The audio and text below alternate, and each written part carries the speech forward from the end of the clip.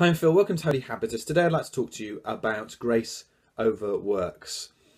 And uh, a few days ago, I was sitting next to a vicar at a conference and uh, got chatting to him about sabbaticals. He'd just taken a sabbatical, and uh, he said that that was the first sabbatical he'd taken in nearly three decades. You know, he'd been entitled to one before then, uh, several times over, but had never got around to it because he's so busy and so focused on the work and and uh, it was a bit poignant, really, listening to him reflect on it because as he'd stopped during his sabbatical, he'd kind of realised that he should have stopped long before. And, and actually, if he'd stopped more regularly to just rest in God's presence, perhaps God would have guided him differently. And he'd got to the point where he wasn't sure really why he was doing what he was doing or, or whether what he was doing was worthwhile.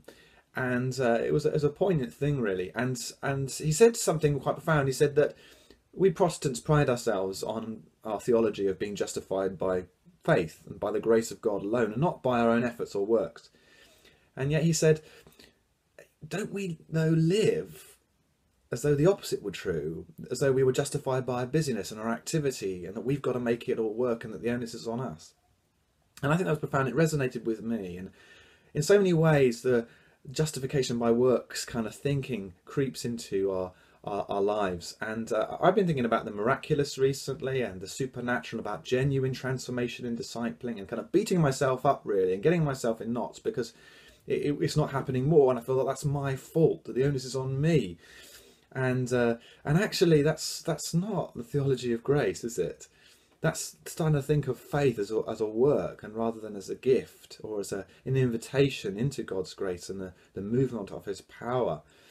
And I, I realised that I, am always kind of hunting around for the, the magic switch, the silver bullets, going to solve everything. And I just need to think in a different way and things will unlock. And actually, I think I just need to let go of that notion and um, and just relax into God's grace more. There's a, a, a passage in uh, a verse in um, Galatians chapter 3, verse 5, which says this Paul's berating the Galatians. He says, I ask you again, does God give you the Holy Spirit and work miracles among you because you obey the law?